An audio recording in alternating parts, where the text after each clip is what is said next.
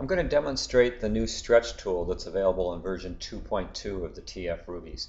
I'm going to start by just grabbing a post component out of my library, placing it in the model. Let's make a copy of that.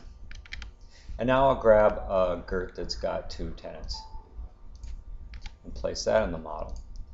Gonna, and we know that the shoulder line belongs on the face of the timber that's going to get the mortise.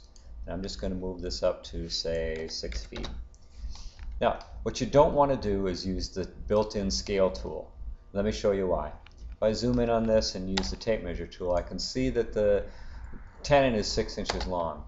And if I use the scale tool, the whole timber will stretch and distort as I'm using the scale. And the tenon is now seven and a half inches long. That's not at all the behavior I want. See how it's uh, pulled out of its pocket over here? So let me just undo that.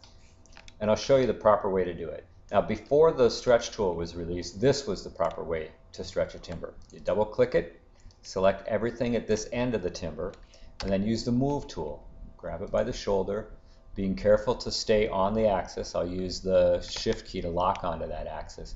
And then you move it to the destination face. Then you uh, drop the move tool and click somewhere outside the timber to deselect it. Okay, that's the old way. But let me show you how easy it is now that we have the stretch tool. I'm just going to undo all that.